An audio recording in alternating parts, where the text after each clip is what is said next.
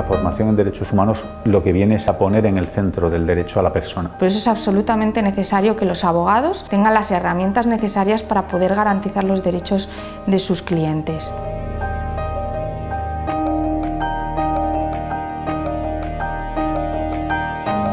A mí me ha sido muy útil eh, tener esta formación y aplicar instrumentos internacionales de derechos humanos para casos concretos en el día a día, en mi profesión, en, en los tribunales. Los temas que la gente más reclama serían cómo formular las pretensiones, las reclamaciones, las acciones de una forma eficaz, de una forma útil para el cliente.